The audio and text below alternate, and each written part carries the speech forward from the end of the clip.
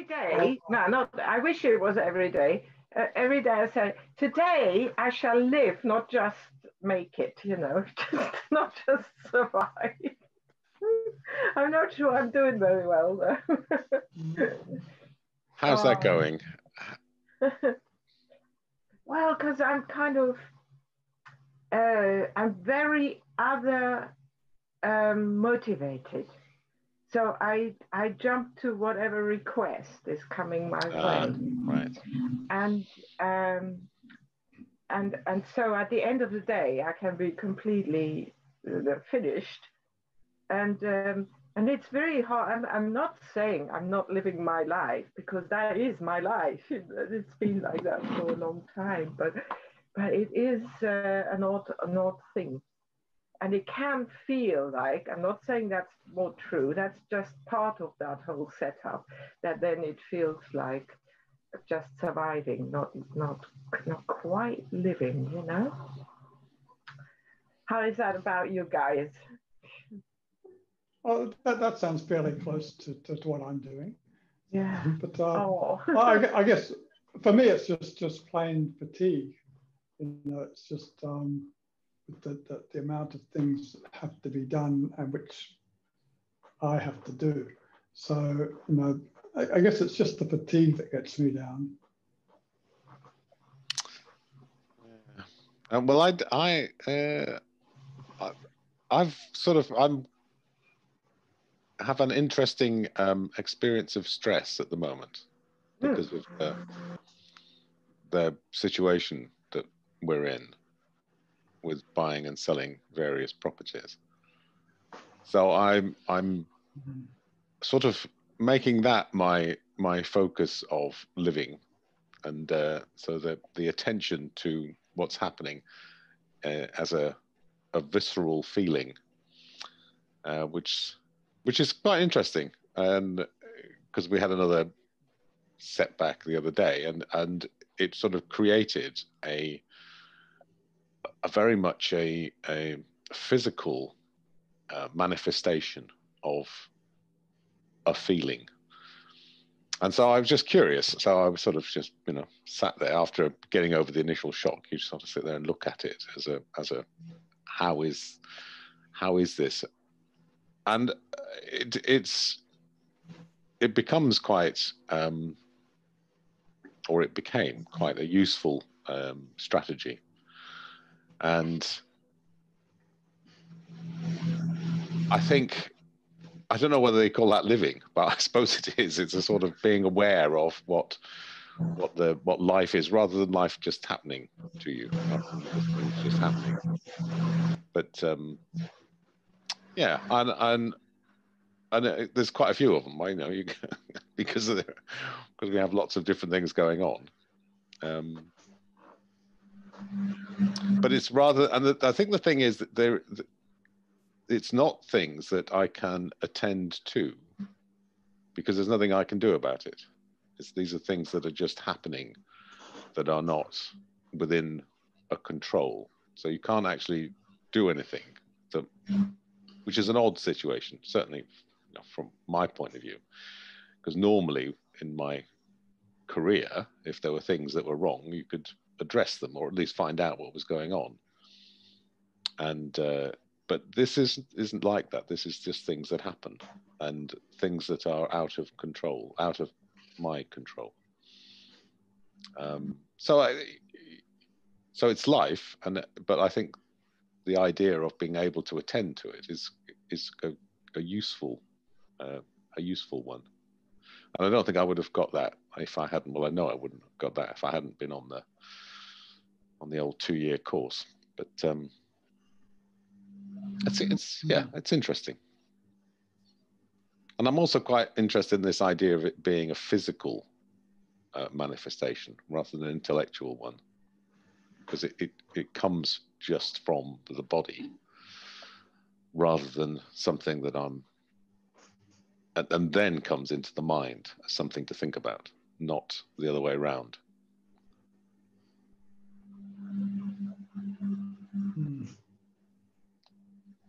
Say that again with the body.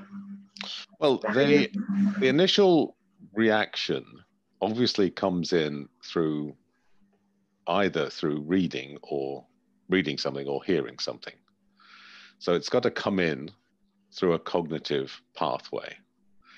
But the effect that then becomes manifested is a physical feeling. It's a sort of, I, I, I feel something. So it's, so I then have to think about it, to, to focus on it. And if I don't do that, then it, it permeates the mind, and the mind being the brain and the body. So if I don't focus on it, then the mind lets it ramble, lets it take, not take over, but lets it sit there and become the background feeling. And then only by looking at it, by examining it, by being curious about that, can it does it does it dissipate. So I think what I'm saying is that it's not, it doesn't, this is the opposite way around to the way I would have always thought about it. I was already have always thought that problems and stress come from uh, cognitive processes, come from thinking processes. But I, am sort of having looked at it, doesn't seem to be. It seems to be the other way around. It seems to be come from the body mind, the body and processing, but not from the brain, not from thinking, not in the sense of thinking rationally about something, sitting down there and working something through. So that that's a new. It's it's well, it's not sort of new, but it's because of the situation I'm in. Um, it's become more evident. I've been able to sort of practice more.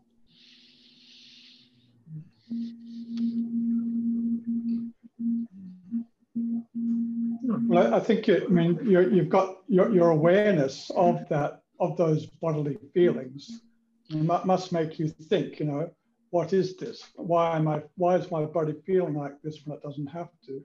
Uh, you know, relax your gut. You know, relax your shoulders. You know, why is it like that? You know, I think you know that, that's what I find myself you know, asking sometimes when I sort of find those feelings in my, my, you know, basically tension reactions or stress reactions, and then sort of examining it and saying, why are you trying to get ready to fight or flight? There's, there's nothing to fight for. It's not under your control. Or, or if it is under my control, I say, okay, well, what can I do? And uh, I guess, yeah. So, yeah, I think very, I, I think uh, the fact that you know you can be aware that those feelings are, are sort of emanating from you know from inputs and stresses and environmental things going on and that they're you know, a guttural re- reaction to you know to those events and happenings but having looked at it and saying you know you know, you know body why are you like this there's not there's no purpose in this there's no purpose in being tense and screwing up what your gut and, and all this. Uh, just wait. That's all you can do. If it's not under your control, it's not under your control. There's no, there's, there's not, nothing really worth.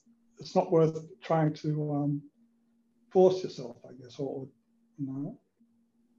That, that's oh, I, I th- no, no, that pointless forcing is completely pointless. But yes, I, I, being attentive I've found is very useful. Mm. And it, and I'm not. I think the thing is also this idea of you know that why you you being like this body. Well, obviously it's not. There's no. There isn't a dualism. It's not. There isn't me and the body. There is just this experience, and there must be a point to it. It's just that the point is no longer a relevant one. I mean, from an evolutionary perspective, there must be a reason why you it does this, why this happens. Psychological stress causing physical symptoms.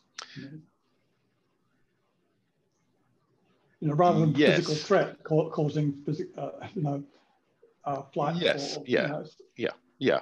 So some yes, and th- there is there clearly has to be a um, a reason for it in the past. It's just that, that it is not of much use now mm, because presumably there was an opportunity in the past when these things originally arose that you could address them by doing something.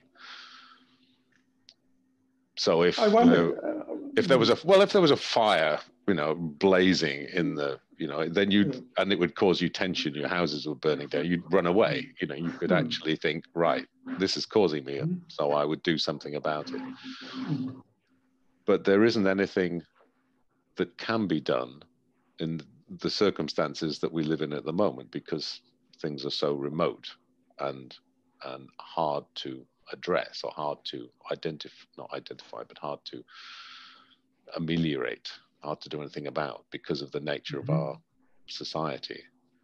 Um, but the stresses are still there. The, the the feelings the attributes are still there. I'm guessing anyway. And i just sort of just Mhm. thinking about it in those terms is uh,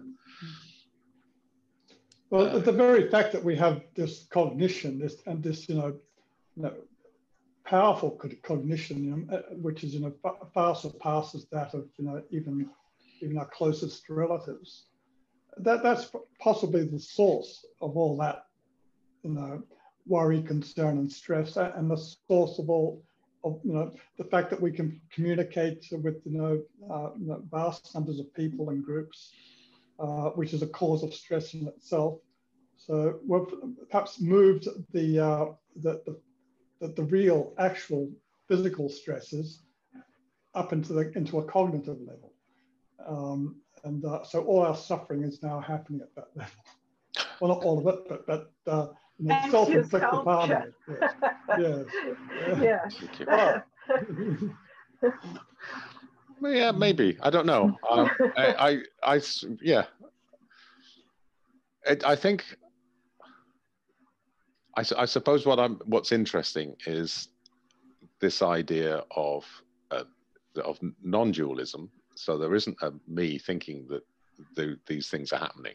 There is only this thing that is happening. There can only be one thing that's happening. Um, and so i'm not sure whether it's the the, the cognitive sense. But your, your perception of it could be dualistic. it, it could be um, but in a way You have, you know, you you have your perception of a, of a feeling, which is sort of dual. Um, it is, and that's why, as I say, if if the the feeling is addressed, then it becomes less of a dualism, less of something looking at something as, oh, this is something, there is something, Mm. and sort of just being in that feeling, just there is that feeling. It's not a pleasant feeling, but it's a feeling. It's a sort of there is this experience, and uh, that is a that's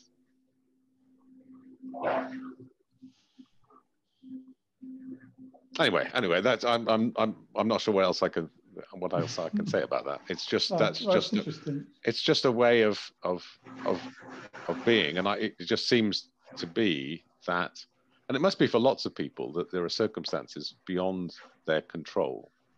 You can't do anything about this. These things are beyond you. And yet those things create feelings.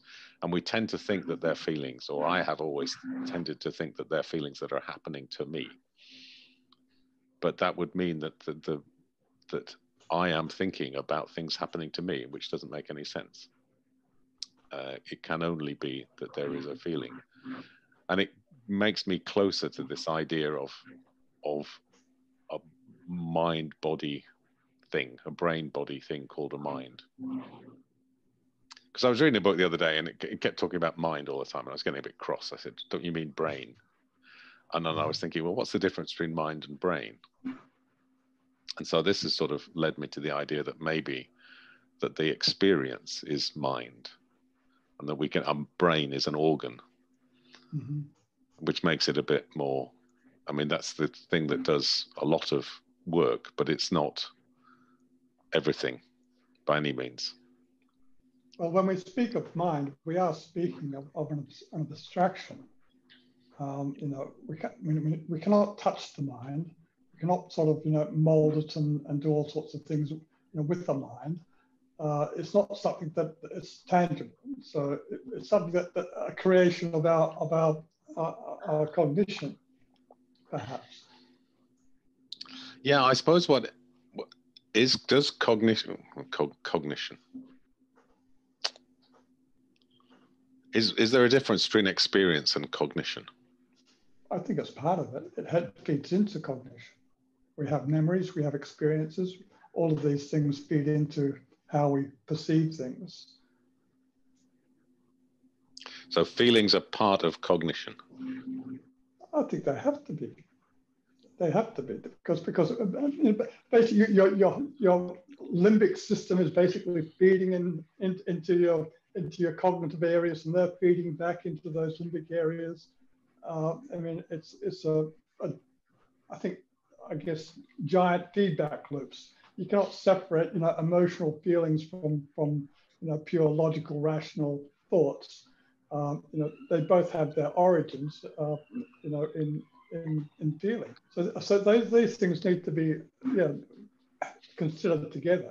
They cannot be separated, but but you know at the same time you know, there, there are you know, functional separations.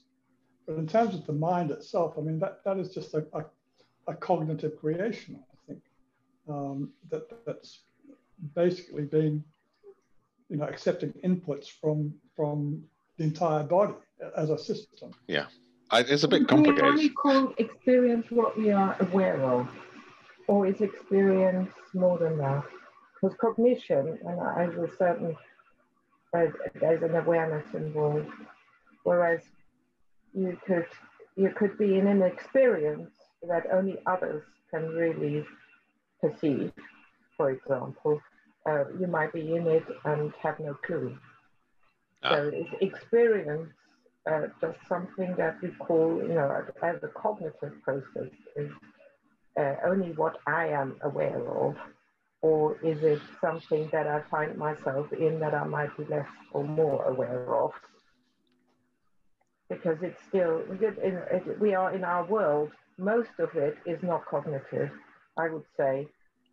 So it's, it's only this little bubble that, that is on the soup that is actually cognized as, uh, really in our consciousness.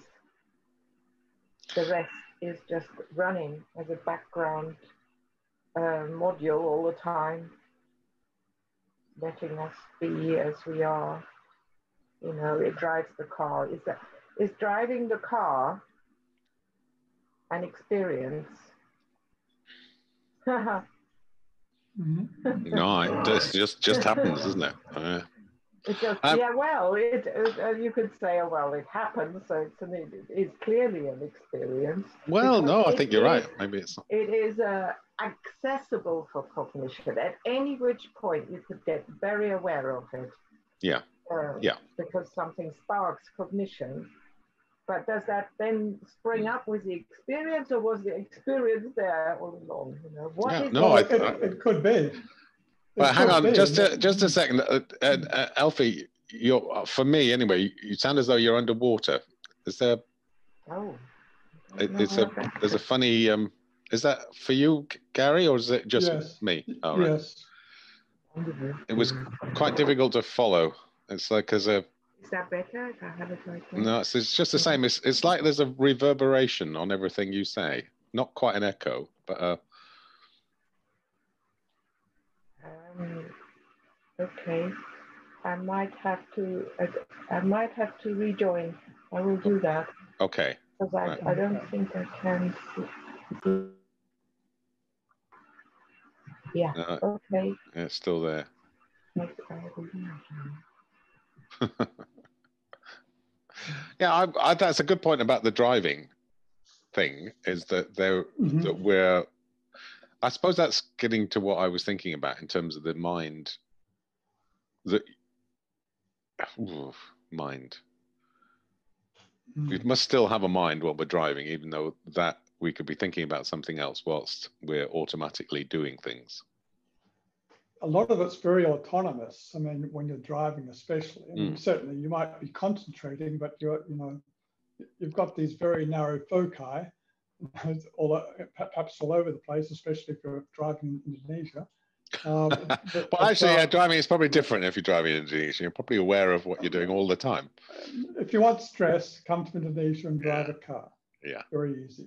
Uh, it's I, I, must do a video of it one day.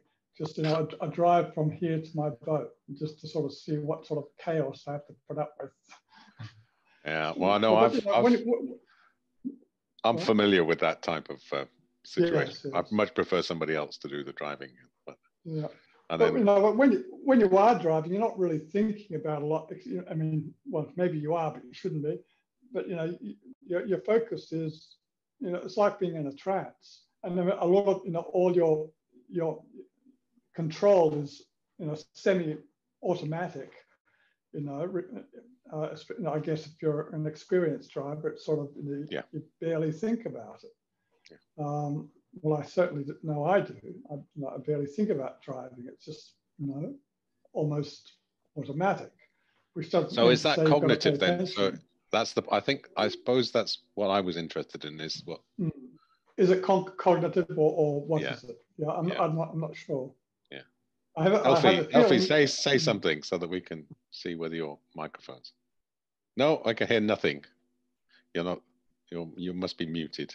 I'm thinking, yes. Oh. Say something. Bob's fallen over. Yes. uh, it's still there, but anyway, we'll survive. Oh. Yeah, that's all right. It's not. It's not too bad. I mean, it's we can hear what you're saying. It's just a bit weird. It's normally Gary who sounds as though he's. Yeah. Oh, I just oh. had feedback then. It's all right. It's gone. How is that then? Just the same. No, I think that's probably slightly worse. I think it was easy. Are we using your microphone? Is it your? Yeah, I did. yeah. I think it's the computer playing up. Yeah. Uh.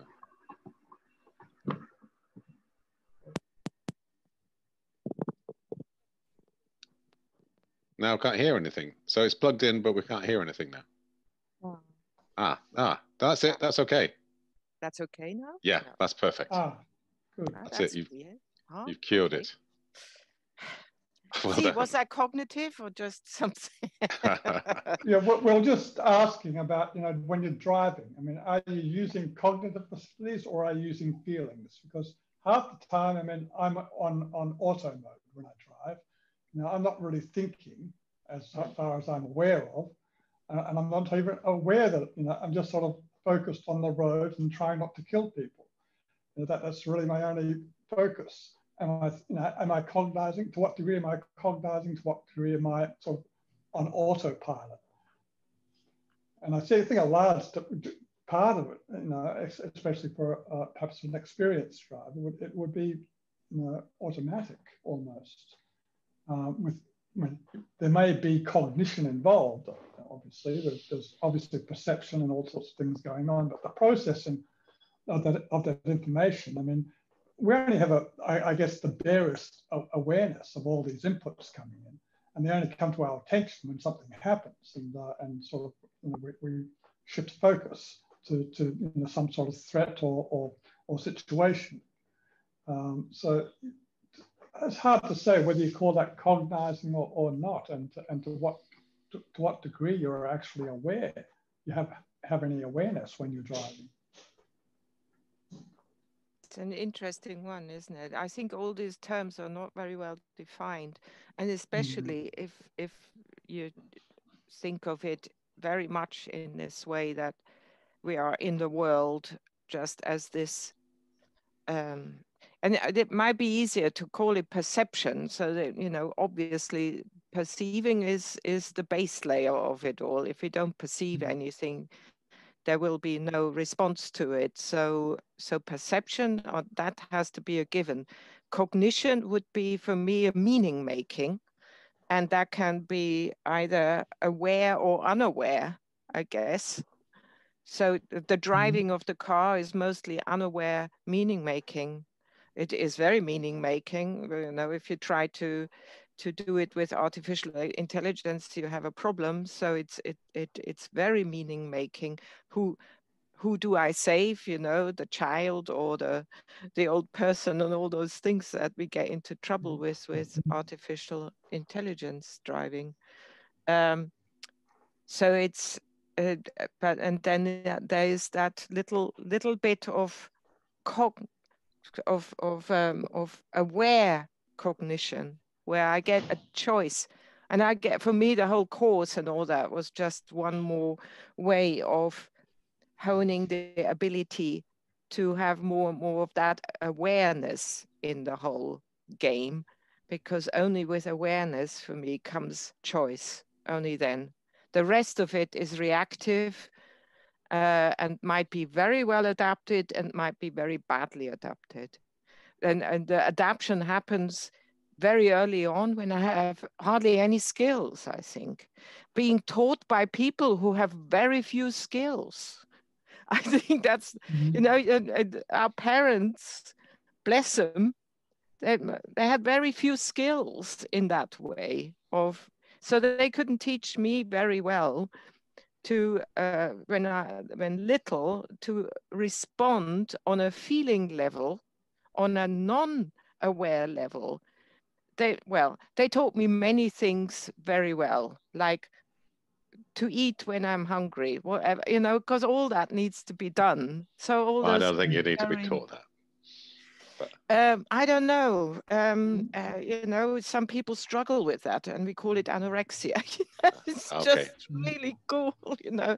So I don't know where where you end that, but so there's obviously a lot that I've learned very well. Uh, and then there's some kind of higher faculty that go into the kind of uh, are you getting wise? Are you wisdom? And they are hard fought for because i don't think we are not getting taught them very well because our parents when they have us don't know them very well either. So we don't get it culturally. We sure don't get it much you know by by trying ourselves because we have very few skills when these things get embedded. So it's a, it's always um, a later day acquisition, I think, of mm-hmm. getting getting to question the reactive feeling. What we call feeling is this basic layer of responses, either physiological or early learned behavior responses to stuff. And that's what we call reactivity. And then often it's not very well adapted because it's a very unskillful, not very well taught being that reacts. I, for me, I think that's that's very that's a very good um, summary of the situation that we find ourselves in and it, it, reminds me of something I think Gary said a long time ago when we were on the course about education as being mm. a foundational element of what this this ought to be this the the understanding of reactivity that that it really ought to be something that's taught in schools and you sort of think well why couldn't it be um, because it would be much easier to do it when you're younger to because you you get so many of these these things that you react to. And it would be very straightforward, you'd think, to be able to look at them um, when you're young, because they wouldn't have the power that they have later on um, when they become embedded and they become something that is uh, we have habitual responses to. So we, before we develop the habitual responses, we could um, learn what those feelings are and their value or their lack of value. I, was actually thinking about that same thing about, about, you know, about education. You know, before you even mentioned, I was sort of recalling something that, that you know, was discussed about that at the course. Um, but, but I think, you know, one of the problems for me as a as an educator, in, in, in this case, in my capacity as a parent, uh, you know, it's um, difficult to, to teach Dharma in environments where it's not really fully supported or understood. However, I think you know that there, there really is only one. You know that the gold standard, I guess, is you know how do you behave and how do they see you behaving in in in, re, in, in, response to certain situations. Um, you know that that's what you know, children learn by by looking at situations and seeing how people respond. Um, and you know, obviously, if they if, if they see people responding explosively to every little uh, problem, then obviously they're going to to absorb that as being you know normal responses. Um, I'm just hoping that you know if I've got any example at all, uh, that you know it's my example rather than necessarily what I say to them that, that's uh, going to to teach them uh, a bit about what Dharma is. It's yeah, interesting because yeah. you got a little one, haven't you? I mean, there you uh, have all this knowledge now, oh, yeah. and you got a, a, little one. This is actually, I you know, I didn't think of it.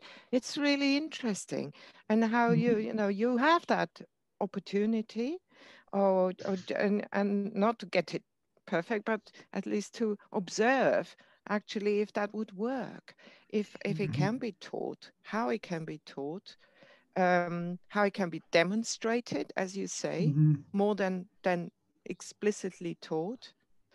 Mm-hmm. But you know, to to um, to bring up a questioning mind. I mean, what a delight that would be in in that mm-hmm. way, mm-hmm. wouldn't it? To say, yeah. Uh, rather than something that gets bashed with statements all the time. Because mm-hmm. yeah, yeah. well, well, that's that's what happens with the Indonesian educational system. Uh, you know, it's a very pretty primitive system, uh, very authoritarian, very sort of you know, chalk and talk, and, and even the talk is pretty bad quality. Uh, you know, it's they, they get pushed through that machine, and I've had lots of kids go through that machine. Um, you know, and there's really not a lot you can do to influence that. In fact, you know, the the, the, the impacts of the outside world can be just completely overwhelming and sort of completely belittle any effort that I might make to sort of uh, look at things a different way or, or, to demonstrate that there might be different ways of looking at the world. Uh, but, but, nonetheless, I mean, uh, even my older children, um, I mean, I think that, that they're far more questioning than, than other Indonesian children, far more questioning. They, they certainly, I certainly didn't teach explicitly teach them that. Um, and you know, and it's not as if they're particularly, you know, talented or or, or, or you know outstanding in any particular area. They're just normal kids. Uh, so, I mean, yeah, you can still do something even even in a, an environment where everything is really against you. Um, and, and particular, well, I guess not accepting uh, little little England, uh, uh, you know, and uh, the way that England is tearing itself apart. Uh, I mean, I mean, the same pressures exist here. That the same sort of you know, overwhelming pressures to conform to certain standards of certain elite groups. Um, you know, it, it's all all pervading. That, that I guess that's the idea. So against that sort of, you know, that sort of aggressive environmental background, you know, you've got to sort of try and raise children that are, have some sort of self-awareness and have some sort of concept that, you know, uh, that I guess that patience and compassion is really the basis of all their of all their responses. That that, that should be their, their foundation. Um, and I mean, and compassion isn't necessarily a default. I mean, it's it's it's sometimes has to be taught, uh, you know, or demonstrated. But you know, to think that you know people are, are you know are always naturally born nice and compassionate and you know mm. and good, well, that's not not so. They they basically follow their parents or their their, their peer groups in, a particular. Ah, but that's not the same as they're they're not necessarily born that way. If they follow their if they learn it, they might be born that way. We might all be probably a bit of both. Yeah. Probably a bit of both, I'd say. Uh, that, that there would be genetic propensity to a particular way of uh, um, you know dealing with the world, uh, but you know almost everybody can be taught. Oh yeah, almost. yeah, yeah, yeah. I've I've been interested this last week in something because I've been something I was reading about, and then something I was thinking about, which is the nature. It's back back to language, and it's the na- but it's the nature of opposites, and what it means for something to be opposite something else. And the more I thought about it, the more I couldn't think of anything that was an opposite of anything else. And then I was reading this um, stuff about uh, Taoism and, and the Tao, where mm. you have yin and yang. But this guy was saying, well, actually, that's not the case in China. It's not called yin and yang. It's called yin yang, and it's it's not two things. It's one thing. So whilst we have tended to interpret yin and yang as being two sides, two to the opposites, black and white, light and dark. In fact, in in um, from a Chinese perspective, it's not. From a Taoist perspective, it's it's one thing, and the one thing has extremes or has differences, extreme differences, but it's all one thing. It's like two sides of the same mm-hmm. coin. And the nicest nice. way, the nicest way I, I, I heard it explained was originally yin and yang, the two words mean light and shade, as in the sun passing over a hillside. So if you look at a hillside, and this is very interesting from a painter point of view, because if you look at light at one moment, light and shade is there. And then you look in the next moment, light and shade is there, but differently because the, the sun is in a different place. So the shade is different and the light is different. So we, the things are the, are the same, um, but the light and the shade have just moved. So the idea that light and shade would be opposites is is becomes then um, complete meaningless because the thing that was dark is now light and the thing that was light is now dark so it's it, it makes sense in terms of it being things that just move and things that change rather than a definitive light this is light and this is dark so i was thinking about what that meant for anything in terms of opposites and you could see that nothing. Well, I couldn't then think of anything that was op- which was what I would have termed before an opposite. Everything seemed to be just uh, gradations. There's no absolutes. There couldn't. Well, I couldn't think of anything then that was an absolute opposite to anything. So the meaning of the word opposite changed for me to become almost meaningless. Um, and it's the same thing with so many things, I suppose, in language, that when you start to look at it, we use it in a way that it, we think is useful, but in fact, um, probably disguises what the actual event we're trying to describe is. We're not very, we use words, and the words obscure the reality. So the word opposite obscures the reality that there is no thing as opposite. Well, it doesn't obscure it, it approximates it. Um, well, I, I see in the past, I would have thought the word opposite meant something. Mm-hmm. And it would have meant this thing is completely and utterly different, the other end of It's just different. It's not the same. This is the same. This is life is different completely and utterly from death. They're the opposite. But in fact, it's not the case. They're just yeah. different You know, I've been experiences. thinking, I did think about, I think you mentioned something about binary uh, something last few weeks ago.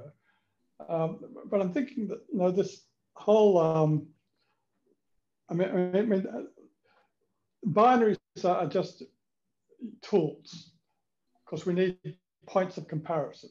And so we set up these artificial sort of, you know, uh, beginning points and end points as, as a way of gradating sort of uh, uh, something, whatever it is. And of course, it could, in most situations, we're not just doing, dealing with two points, but we're dealing with a whole matrix of different points, uh, which are sort of approximating, uh, uh, you know, beginning points and end points. Uh, they're just abstractions, um, but, but they're just, I guess, useful to, to I guess, make meaning.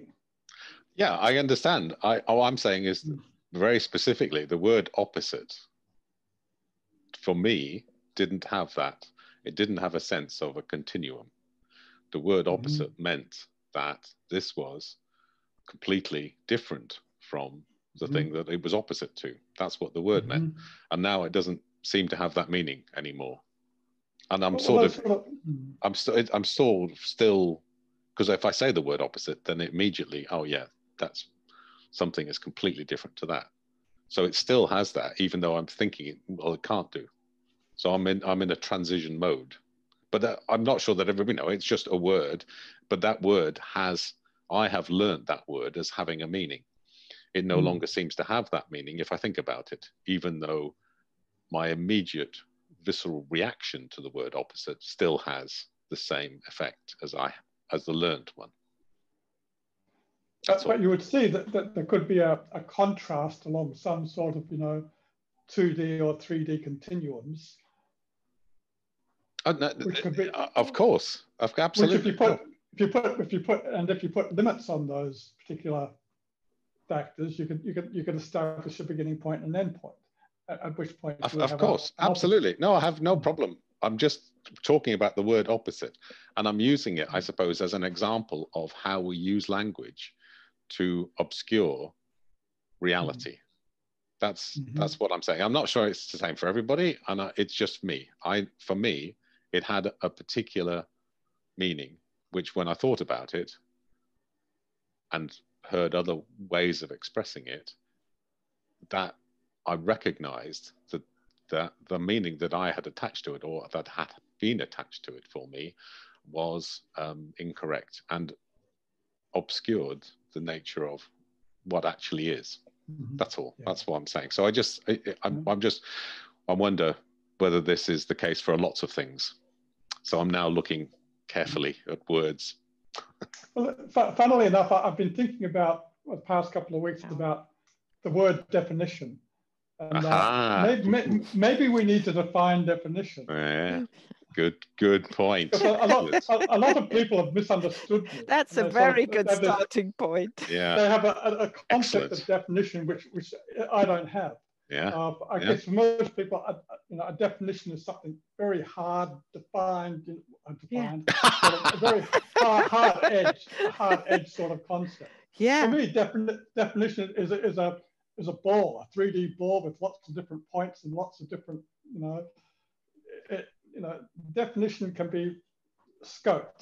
You know, you can sort of have a, a narrow scope definition or, or, or wide scope definition, but the problem is people rarely actually specify how they're scoping their their their, their words. that is Indeed. that is that is. I love this. I mean, Rupert, that's really. I mean that that is. I've I've come across it. Uh, Wittgenstein says things like that, and and and um, um, uh, so it it and yeah, you put it into words that I can really work with it. So that I'm really that's fascinating and so Mm. true, and it's so amazing to hear that Gary. You have a completely different way of looking at it anyway, and is Mm. that is that um, uh, a, a viewpoint that that any IT person, or not any, but but someone who's really into coding would have, or is well, that your thing? Well, it is. I think certainly it's my thing, but I'm certainly absolutely certain that programming really reinforces that sort of thinking. Does it? Uh, well, oh, gosh, you're ahead. oh, yeah. I mean, I mean, all I think is data. I, I'm, I'm, I'm, I'm a database programmer. That, that's my, my area is, is database programming. Uh, so data manipulation and, and that sort of thing.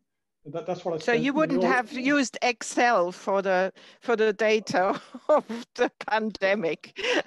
uh, well, well, actually, you know, you, there's nothing wrong with using a bit of Excel. I would never touch it myself, but you know, there's nothing wrong with it. Uh, but, you know, it's got to be served up in a, in a, in a proper way. It's just, you know, it's just got to be a, a presentation. That's that's what Excel is. It's a presentation format. Uh, it's not sort of you know a data generating program. You know, goodness, I mean, what are they thinking? I mean, you know, there's. Uh, yes, but anyway, I think in a data, data yeah, I think data science, structures, programming, and and that sort of that sort of thinking, and and, and uh, object-oriented programming and all that sort of thing does affect the way that you actually look at the world. Uh, and but you know, I've been like that since I was whenever. Uh, but, but certainly, I'm absolutely certain that, that you know program, and I didn't actually start programming until computers came were invented, of course. So, you know, I, I didn't really start early at all because computers weren't invented then. Uh, so it wasn't until about you know what was it about 27, 28 before I started first used my first computer. And you know, by that, but you know, what once that happened, it was all over. You know, that was uh, that was what I did. So yeah, but, but, yeah, it certainly reinforces perhaps pre-existing things which might have already been. Because the, the fact is that not everybody can program. Well, no, that's not true. People, a lot of people can program. Every, anybody can be taught to do some programming, but to be a programmer is a completely different thing you know, and it requires a certain, and, and you see these uh, uh, stereotypes of, you know, of IT geeks and things like that. You know, those people are real. And that's what they are like. You know, it's, it's not an act.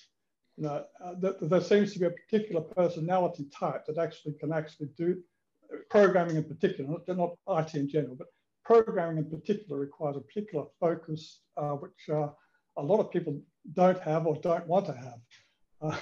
Uh, because it's rather antisocial. You know, just this past couple of months, I've been, I've barely walked, and got out of this uh, this house, not because of lockdown. This is, lockdown is my normal state.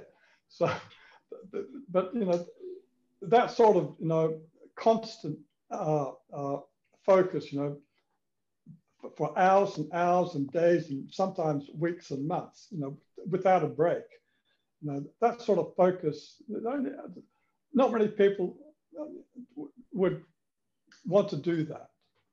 Um, and even if they wanted to, they might find it very hard to do. So I, I de definitely think there's a certain phenotype out there, you know, some sort of you know rough phenotype which, which actually gets pulled into this sort of programming um, uh, paradigms, and is actually sort of, you know, which is why people, I guess, find you know IT what what they think are IT geeks. So sort of you know a little bit different.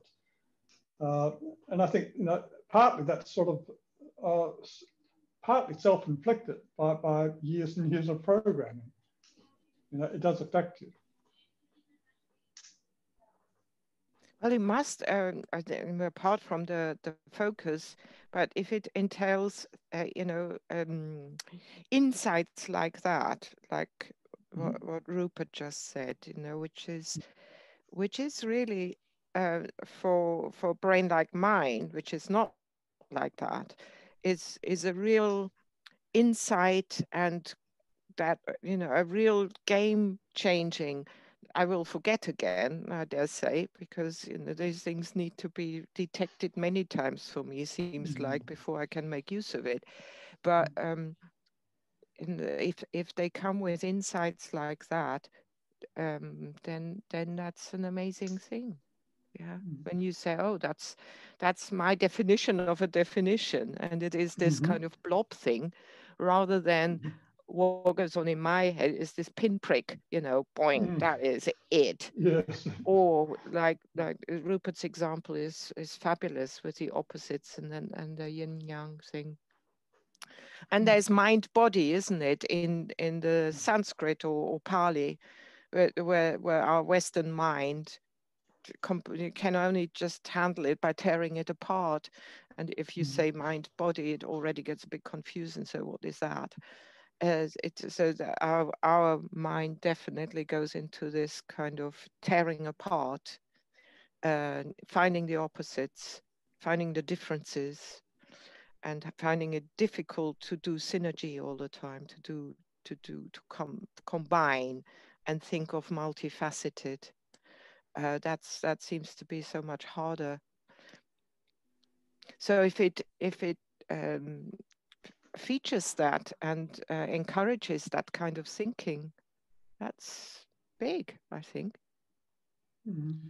It's really interesting that the way Gary you talk and you would because you would sort of assume from the outside that programmers dealing with like you, what you would think is a bin- binary system, zeros and noughts, yeah.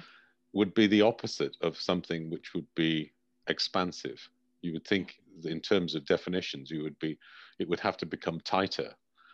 But what you're saying is the hmm. opposite. That that the nature of the definition is that it it is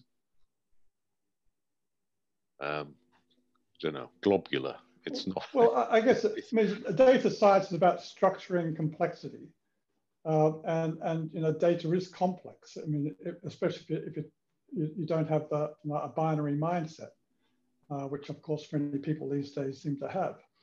I mean, when you when you've got you know when you see data in, it, in its you know, full 3D glory and, and, and, and it's extremely, you know, data is extremely messy and, and to try and, you know, extract anything useful out of it requires, you know, more than just sort of 2D uh, data methodologies.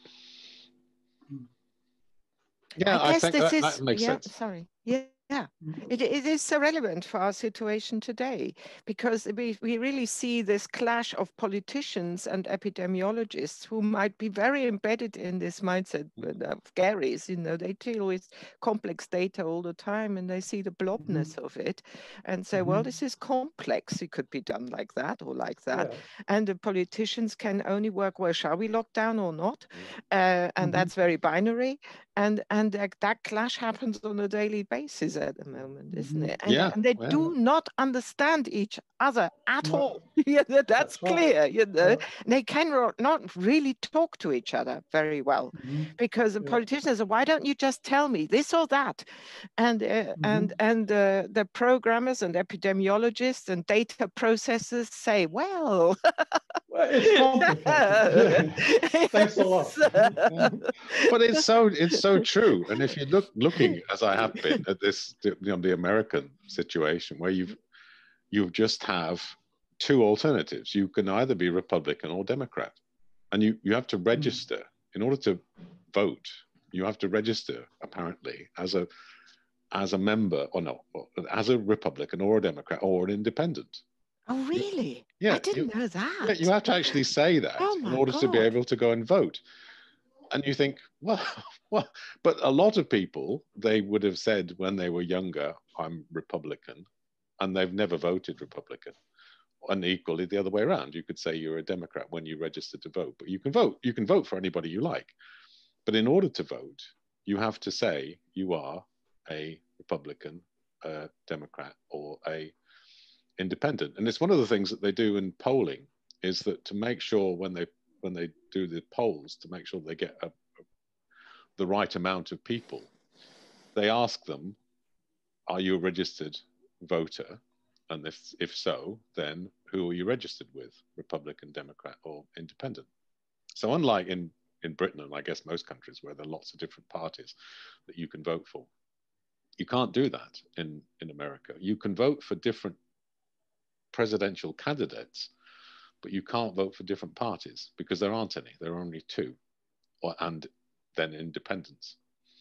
So you could vote for, you could be an independent um, presidential candidate or a senatorial candidate, but you can't be another belong to another party. You can't belong to the because they just they just don't exist and you can't be registered um, for them.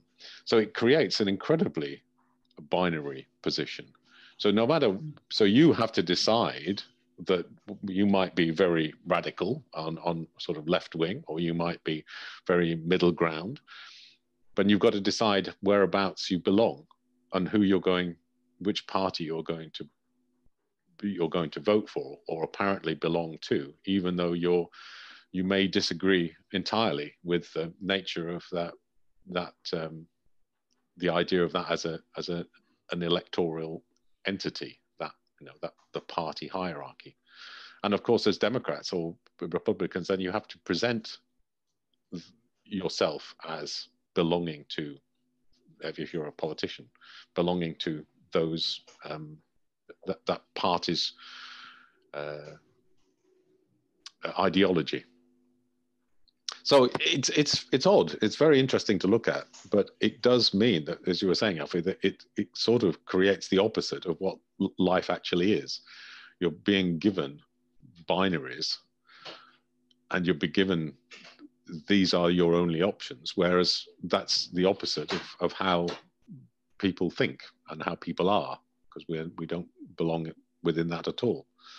And I just wonder now whether America is getting to the situation where this is becoming unsustainable. And I'm not, not sure why it happened in the first place, but it does seem to be breaking down because there are there are so many different factions within this, and there's there's, there's talk that the Republican Party might might split after the election if Trump loses, which he almost certainly will lose, because there'll be there's a, the Trumpian perspective and then there's the traditional Republican perspective, which is very non Trumpian. But everybody's been having to follow Trump because he was their presidential candidate. Mm-hmm. Which I would be a very good thing. Lose. You know, well, I've just bet on him, so he bet on him to lose. So he, he has to lose. I now. think he will win again. Ah, yeah. well, anyway, but that's not yeah. not to say that what yeah. the rest. Yeah, yeah.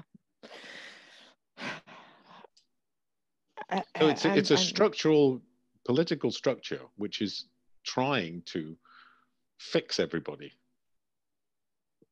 And it's impossible. You can't fix everybody into this structure. You have to there has to be more flexibility in the system.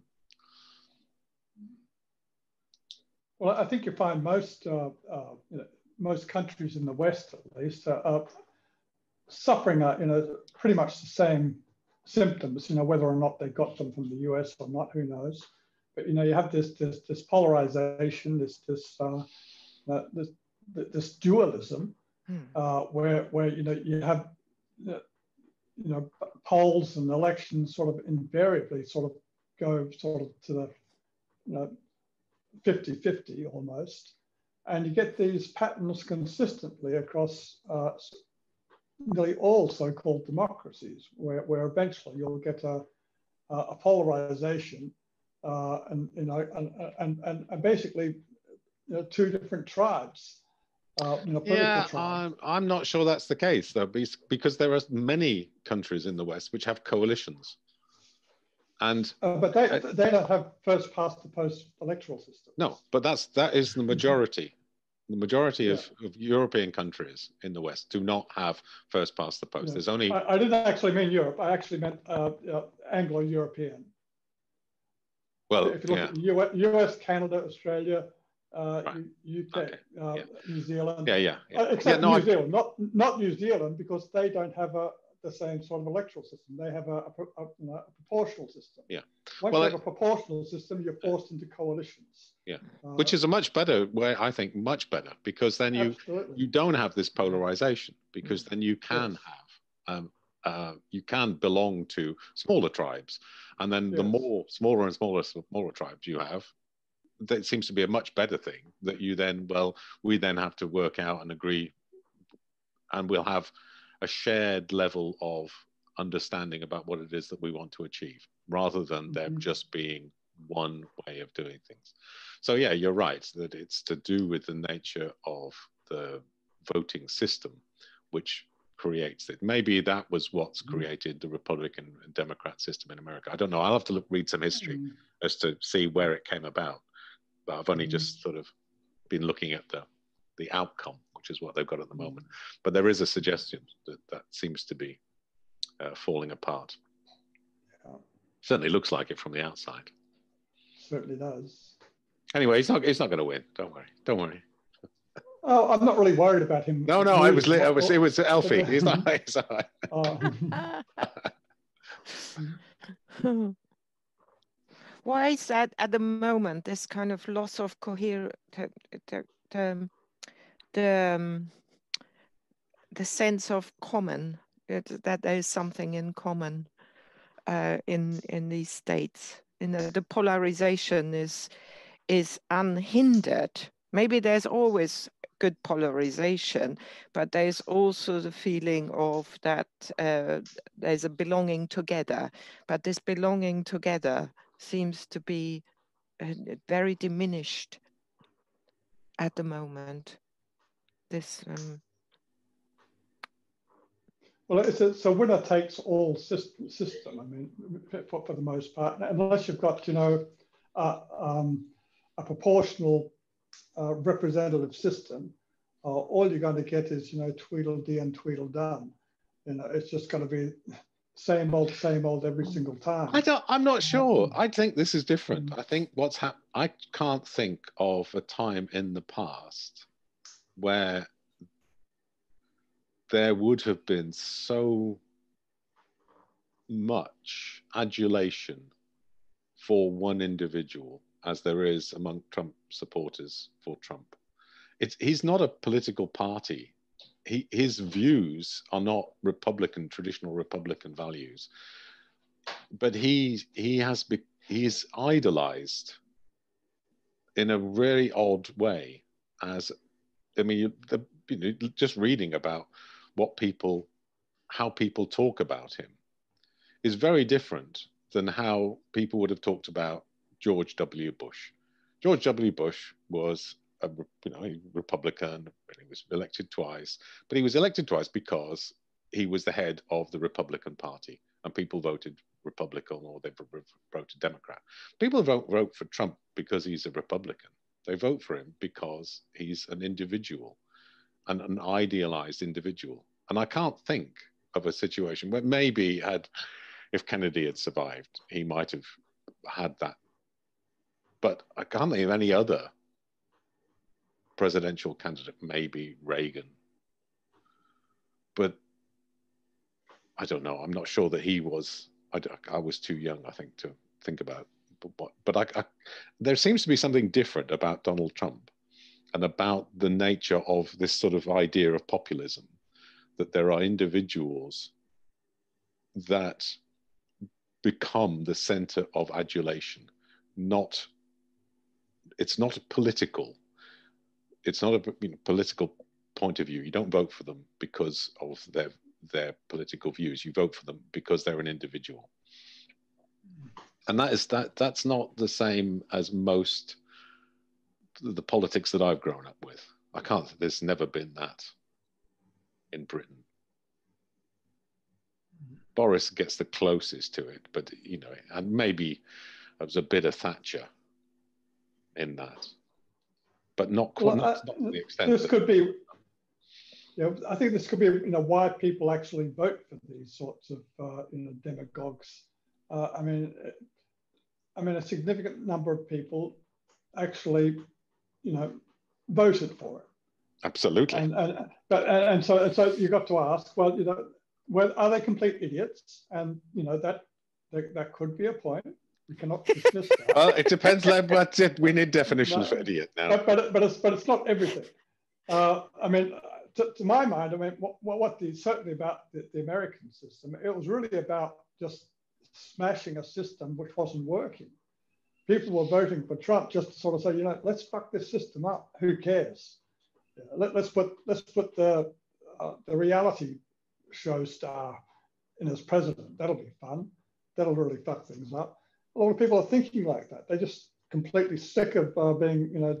Yeah, that would have that would have made sense four years ago. It would have made sense. It doesn't make sense doing it again. I know. Well, I don't think it will. I don't think there'll be quite as many of those uh, people wanting to do but that. Still millions upon millions. Anyway, I don't. But yes, well, like I said, they cannot dismiss the, the possibility that you know there's a lot of stupid people out there, and uh, for some reason they feel disenfranchised, and of course there's also a lot of people who are, are exploiting uh, this this uh, you know, uh, you know, Trump and these other you know, cronies exploiting the situation in order to sort of you know get obtain political objectives, usually economic. So you know there's a huge power grab, and and and, and it's being used like a like a tool, which he is. Yeah, well, I, I, I cannot accept that they're stupid people. And uh, I, the closest that Trump comes to definite for me is Hitler. I mean, he had that crack the same way um, an absolute natural at doing something like that. And the Germans didn't vote for the Nazi party either, or for for any of of their policies really. They voted for him, and so he had that cracked in the same way. And if you uh, see the the kind of language and the principles that that builds, they're very similar. Make Germany great again could have been Hitler's uh, sentence and and was. So yeah. it, it's it's actually very very parallel. Yeah. and and uh, uh, and i don't know if i can call it stupidity. It is really unskilledness. There is a for me in my in my you know from from knowing individuals very well throughout my professional life there are people who have a strong inner sense of being. They, they, they, in the way of, they know who they are, even if it's not spoken, but they experience themselves in that way all the time as, oh, I don't seem to be like that. I don't agree with this. I have a strong intuition for that. Uh, it's not, it might not be um, aware, but it is lived you know i go into opposition with so many things.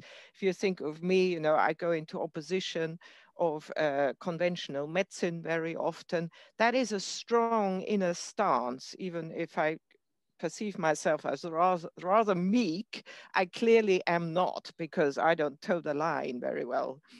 But there are the other half of people and it's like it's the difference between having an inner skeleton or an exoskeleton. There are a good many people who get their strength from approval from the outside. So that it, their strength comes from being uh, in uh, in if they're in a work environment, they will they will uh, do what the others like, and and their strength comes from um, being uh, uh, doing right by others, being praised, being being. So I think that kind of inner in um, orientation is really exploited by people like Trump, who says, "Make America great again." Then I can be someone because America is great. So you you give uh, that kind of orientation and an exoskeleton and it that they love you for it. They kill for you because now they got something that gives strength. And it is like it's like a, a, something from the outside around them. When inside there isn't much there's a blob.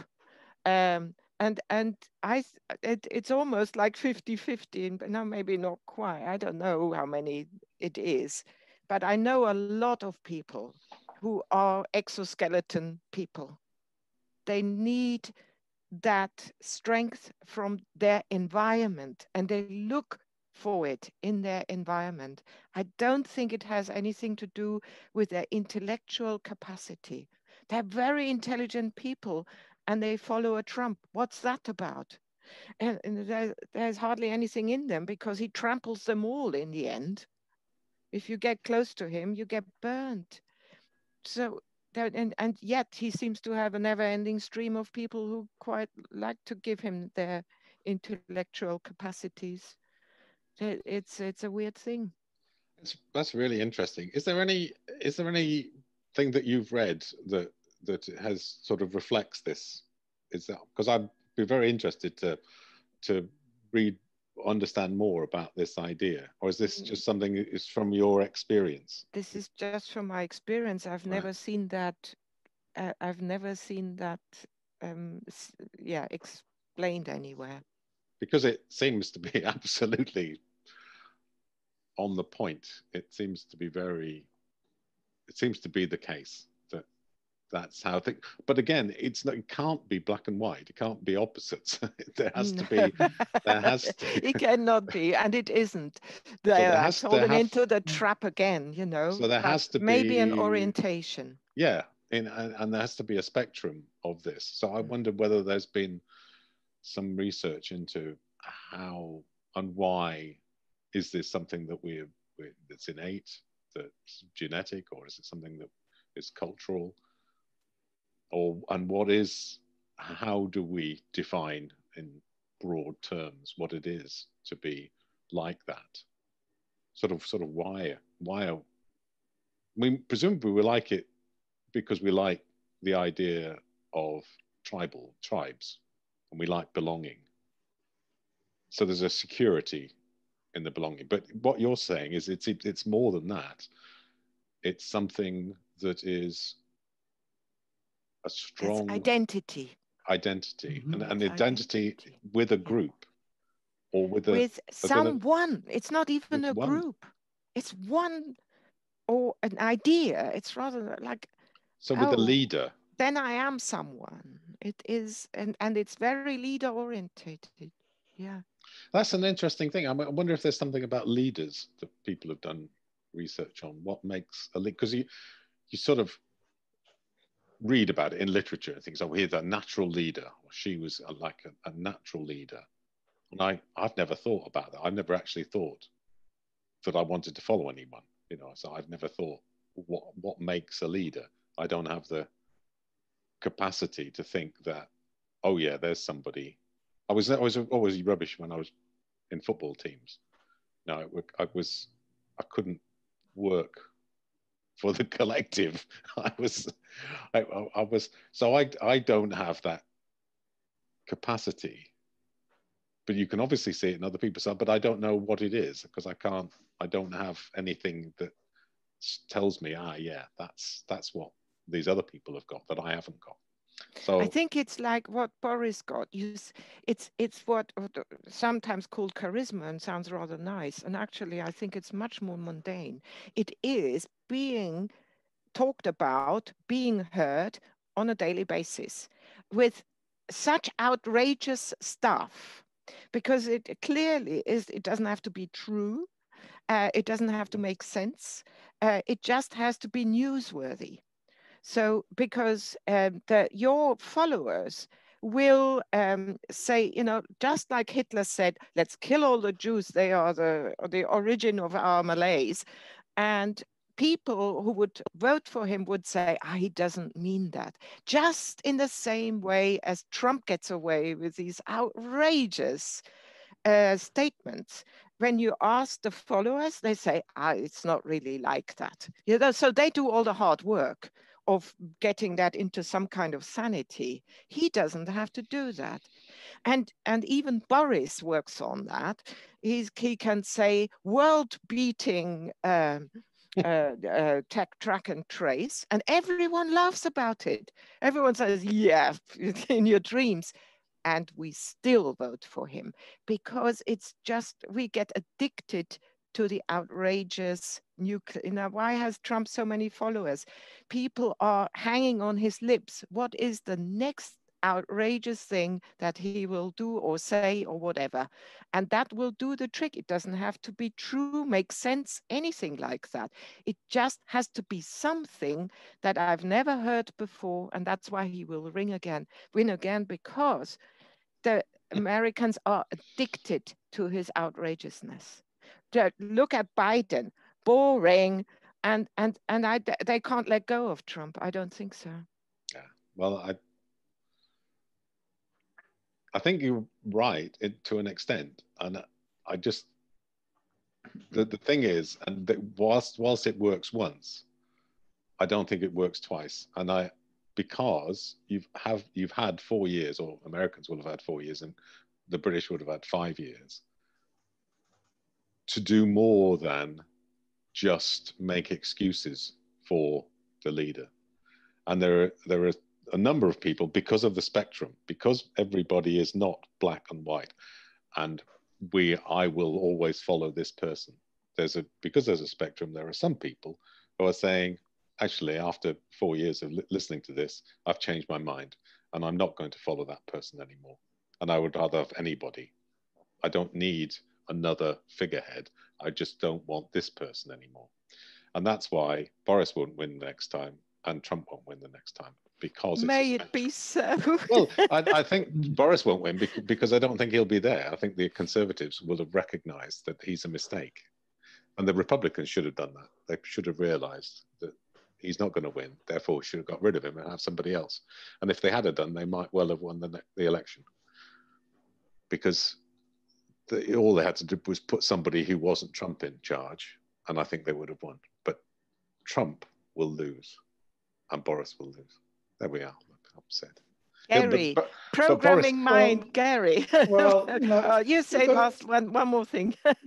well, you know, I sort of look at things, these particular things, maybe a little bit differently. I don't know.